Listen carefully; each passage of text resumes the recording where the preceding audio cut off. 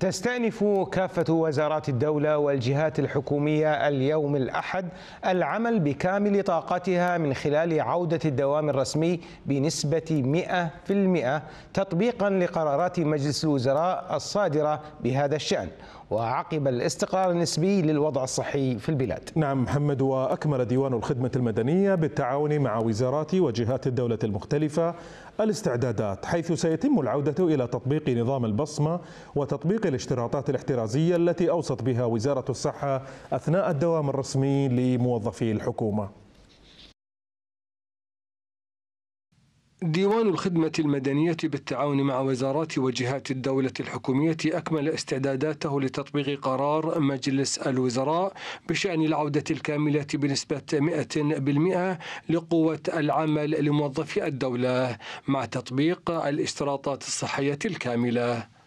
فالاشتراطات الصحية تعد مسؤولية كل جهة في الجهات الحكومية.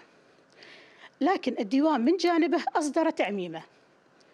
لإعلام الجهات الحكومية بالإجراءات والقواعد لعودة لعودة العاملين في الجهات الحكومية مع التقيد بالإجراءات والاحترازات الصحية. بالنسبة حق عودة العمل لنظام العمل راح يكون بقوة مثل ما تفضلت 100% يعني عودة جميع العاملين بالجهات الحكومية مع إلغاء كافة حالات الإعفاء. بالنسبة للاشتراطات الصحية وتنفيذها تكون عن طريق الجهة مسؤولية الجهة اللي هي متابعة موظفينها سواء بالحضور أو الانصراف أو تطبيق الاشتراطات الصحية التي تصدر من السلطات الصحية. العودة الكاملة لموظفي وزارات الدولة والجهات الحكومية ستشهد استئناف العمل بنظام البصمة لتأكيد عمليتي الحضور والانصراف وإلغاء كافة الإعفاءات خلال فترة الدوام الرسمي تطبيقا لقرارات مجلس الوزراء بهذا الشأن. والخدمة المدنية أصدر آه، لكافة الجهات الحكومية التقيد بنظام البصمة كإثبات للحضور والانصراف.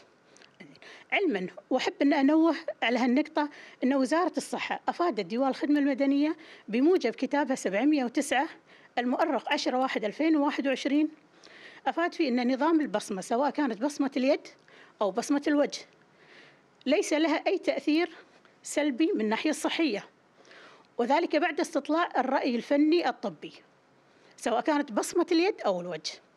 لكن اشترط اشترطت وزارة الصحة بالكتاب توفير شنو؟ توفير مطهر يد كحولي. ليش لاستخدام العاملين أو الموظفين؟ بعد ما أنه يثبت حضوره أو في حالة لمسة بالحضور أو الانصراف يقوم بتطهير يده.